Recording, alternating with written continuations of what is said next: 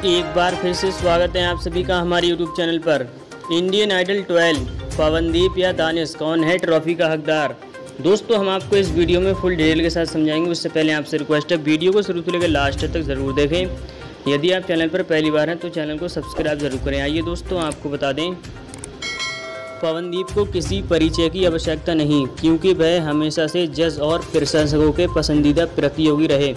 उन्हें शुरू से दर्शकों का भरपूर समर्थन मिल रहा है। उत्तराखंड का ये प्रतिभागशाली गायक पहले ही the voice of India season one जीत चुका है। वहीं आपको बता दें, फिनाले से पहले नेटिजन्स भी इस होनहार संगीत को फॉलो कर रहा है, जो न केवल अच्छा गाता है, एक बहुत अच्छा संगीतकार भी है।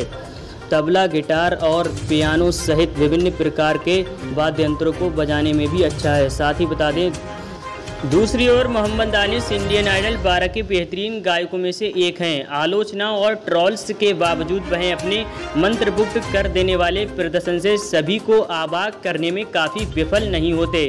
बता दें कि अपने गायक प्रतिभा के साथ वह दिल जीत रहे हैं। उन्होंने जजों से भी काफ़ी प्रशंसा बटोरी है, वह ट्रॉफी जीतने के प्रबल दावेदार में से हैं। जी हाँ दोस्तों दोस्तों, आपको क्या लगता है, क्या पवनदीप राजन या इंडियन आइडल में जो ट्रॉफी फिनाले होने वाला है, उसका विनर कौन बनेगा? पवनदीप राजन या मोहम्मद दानिश या अरुणिता कांजीलाल? हमें कमेंट सेक्शन में नीचे ज़रूर बताएँ। वीडियो पसंद आए तो वीडियो को लाइक करें और अपने यार दोस्तों में शेयर करें। मिलते हैं नेक्स्ट वीडियो में, धन्यवाद।